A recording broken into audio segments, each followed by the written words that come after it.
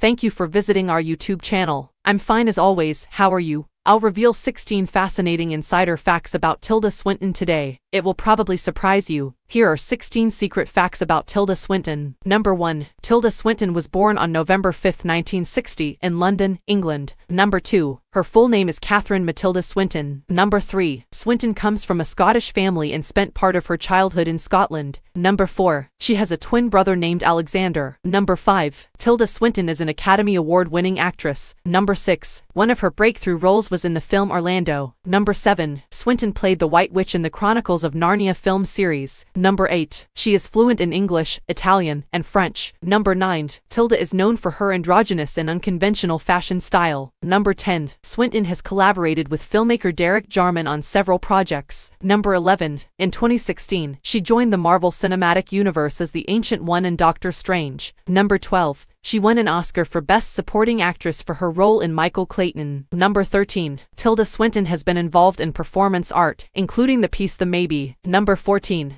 She played the role of Gabrielle in the film Constantine. Number 15. Swinton has voiced characters in animated films, including Isle of Dogs. Number 16. She is admired for her versatility and ability to take on diverse roles in film. Thank you for watching. Love you all. See you in next video. Bye.